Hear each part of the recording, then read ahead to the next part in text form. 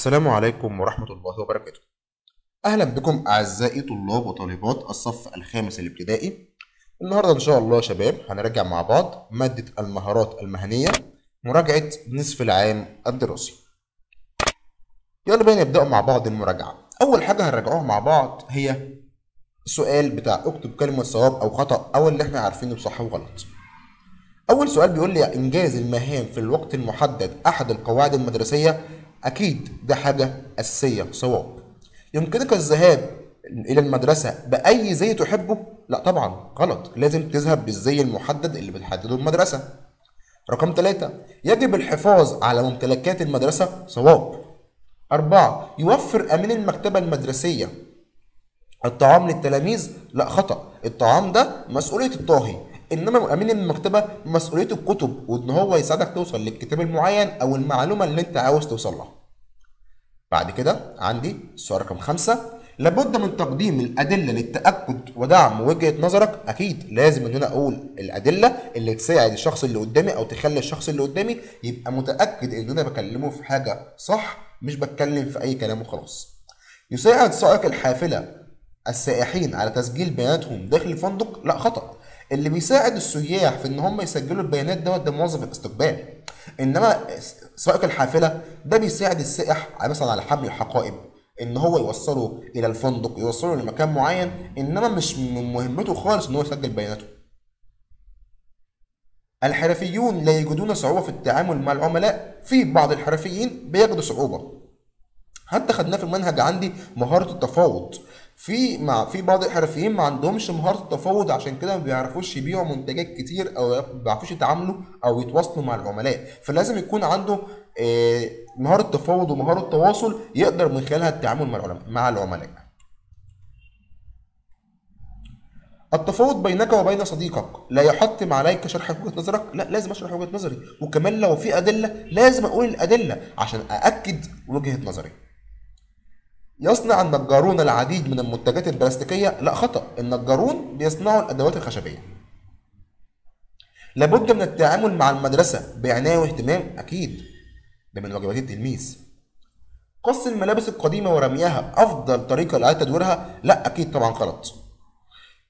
ممكن إن أنا أستخدم أعمل إعادة تدوير للملابس القديمة وأستخدمها بشكل مختلف. يعني مثلا أعمل إيه؟ لو أنا عندي ملابس لسه مناسبة لللبس كويسة. أقدر ان أنا اديها لحد اصغر مني أو اديها لحد تاني يستخدمها لو هي صغرت عليا أو مبقتش بلبسها. فدي افضل طريقة اعاده تدوير أو ممكن استخدمها باشكال أخرى ان أنا اصنع منها حاجات تانية كتير زي ما خدنا في المنهج. رقم 12 يمكن رش التربه بالمبيدات الكيميائية. الضارة لزياده خصوبتها لا. المبيد الكيميائي اولا يا شباب ده معداه لقتل الحشرات الضارة. خلاص؟ بس برضه هو مضر بالتربه إنما لو أنا عاوز أزود خصوبة التربة أقدر أستخدم إيه؟ أسمدة كيميائية ودي مش أفضل حاجة أقدر أستخدمها. إنما أفضل حاجة أقدر أستخدمها هي الأسمدة العضوية. رقم 13 قبل إصلاح الشيء لابد من معرفة المادة المصنوع منها أكيد عشان كل حاجة أو كل شيء ليه آه، آه، طريقة مناسبة لإصلاحه. يعني الأخشاب ليها طريقة مناسبة لإصلاحها غير الجدران غير المعادن كل حاجة ليها طريقة مناسبة للاصلاح تم الحصول على اللون الأصفر قديما من نبات النعناع. لا إحنا خدنا أنواع كتير أو خدنا حاجات كتير تحصل منها على الاصفر يعني على سبيل المثال مثلا الكركم أو الزعفران. معلش الكركم أو العصفر آه. دول كلهم حاجات ينفع إن أنا أطلع منها اللون الأصفر إنما النعناع لا. طيب. بعد كده 15 تختلف السياحة البيئية عن باقي أنواع السياحة أكيد صواب ده نوع مختلف عنهم خالص.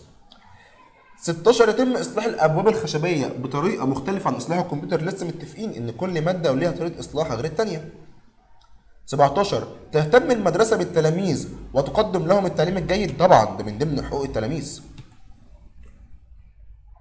18 إدارة الوقت. هي معرفة قيمة الوقت وكيفية الاستفادة منه. أكيد صواب. طيب 19 إعادة تدوير الملابس مفيدة للبيئة أكيد مفيد للبيئة ليه؟ عشان هيقلل المخلفات وبالتالي هيقلل التلوث. 20 الدكتور مصطفى السيد عالم متخصص في مجال الكيمياء الفيزيائية صواب. تعد محمية وادي الحيتان واحدة من العديد المحميات من من العديد من المحميات الطبيعية في مصر آه طيب بعد كده عندي رقم 22 يحق للتلاميذ التعلم في بيئة خالية من المضايقات الجسدية والنفسية صواب دي من حقوق برضو التلاميذ.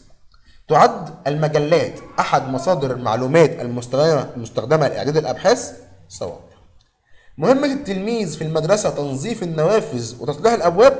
أكيد طبعا غلط. الخطوة الأولى لإدارة الوقت هي ترتيب المهام حسب الأولوية؟ خطأ. يحظى الدكتور فاروق الباز بشهرة كبيرة بسبب عمله في وكالة ناسا؟ صح. القواعد المدرسية هي التي تحدد ما يمكن القيام به وما لا يمكن القيام به داخل المدرسة؟ صواب.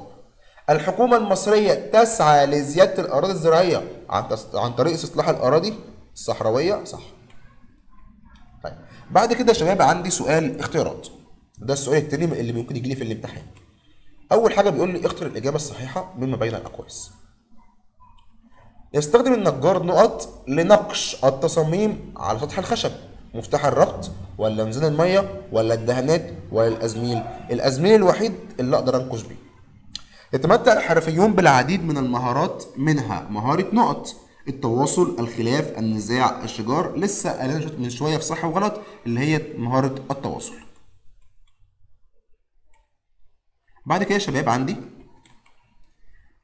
الهدف من استصلاح الأراضي الزراعية في مصر هو توفير الكتب، الملابس، الغذاء، الأدوية المدرسية، هي مش زراعة يبقى كده وفر لي ملابس. نوع نوع خشب استخدم في صناعة الآلات الموسيقية قديما اللي هو إيه؟ الأرز ولا الصنوبر ولا الأفريقي الأسود ولا القيقب؟ هو القيقب. خلاص؟ طيب. بعد كده بيقول لك يجب علينا بعد التوصل للمعلومات ان نقط نوثقها نمسحها نكررها نحذفها يبقى لازم إيه؟ نوثقها.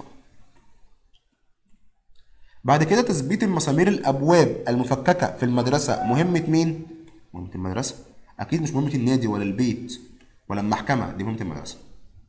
بعد كده بيقول لي تحويل القميص القديم إلى مقلمة يسمى إيه؟ إعادة استخدام ولا حد من الاستخدام ولا إعادة تدوير ولا استنفاذ الموارد. دي إيه؟ أكيد إعادة التدوير. تستخدم البذور والعقل في عملية الزراعة ما دام بذر هيستخدمها في إيه؟ غير الزراعة. طيب بعد كده بيقول لي يهبط نقط بالطائرة بشكل آمن في المطار ده مين؟ ده الطيار. المسؤول عن إعداد الطعام وتجهيزه في المطبخ هو الطاهي لسه قايلينها.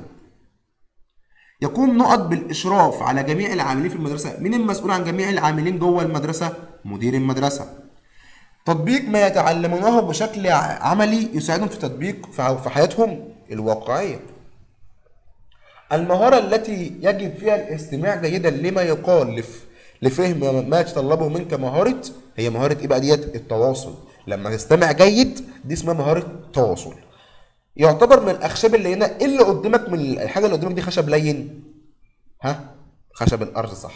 إنما الافريقي الأسود أو القيقب دول أخشاب صلبة وكذلك البلوط يتكون السماد نقط من قشور الخضروات. فرق قال لك قشور خضروات يبقى ده إيه؟ عضوي وفواكه كذلك. حل المشكلة يتطلب التحلي بنوع من المرونة؟ لازم يكون عندك مرونة في التعامل عشان تقدر تحل أي مشكلة. بعد كده يا حبايبي بيقول لي تعتبر إزالة نقط أحد طرق الحفاظ على الحديقة هنزيل إيه؟ الحشائش الضارة. لون ينتج من دمج اللونين الأزرق والأحمر هو اللون إيه؟ الارجواني آخر مرحلة من مراحل الزراعة هي مرحلة إيه؟ الحصاد. لون جاء من نبات النيلة هو اللون إيه؟ الأزرق. طيب. المحمية تقوم بحماية الحياة البرية من الانقراض. تسبب السياحة نقف في تد- في تدمير الموطن البيئي دي السياحة الغير مسؤولة. جاءت الصبغة الحمراء من آه، نقط نبات الفواه من جذور نبات الفواه. نوع من أنواع الزراعة يجمع بين الزراعة المائية وتربية الأسماك هي أنهي واحدة بقى؟ زراعة الأكوابونكس. بعد كده يا شباب عندي آخر سؤال عندي هو سؤال أكمل. يحق للتلميذ التعلم في بيئة إيه؟ آمنة لسه واخدها من شوية. يجب إضافة نقط لزياده خصوبة التربة السمات إنما لو هتموت الحشرات ده المبيدات. تتم زراعه النباتات من خلال استخدام البذور أو العقل. آخر مرحلة من مراحل الزراعة هي الحصاد أثناء الحوار لابد من لابد من تقديم نقط لدعم وجهة نظرك الأدلة. عند حل المشكلة يجب عليك التحلي به المرونه لسه برضو قايلينها من شوية. تشتهر مصر على مستوى العالم بالحرف اليدوية. يستخدم النجار نقط لتنعيم الأخشاب الفأرة أو ورقة الصنفرة. يعتبر نقط من الأخشاب اللي هنا عندنا أنواع كتير جدا. هناخد مثلا الصنوبر كمثال. الاستماع الجيد للآخرين يساعد في تحقيق مهارة التواصل. إحدى استراتيجيات حل المشكلة هي أن تقوم بتقسيم المشكلة إلى أجزاء صغيرة. الأمن والسلامة من حقوق التلاميذ. وبكده يا شباب نكون انتهينا من مراجعة النهارده. أتمنى نكون استفدنا. والسلام عليكم ورحمة الله وبركاته.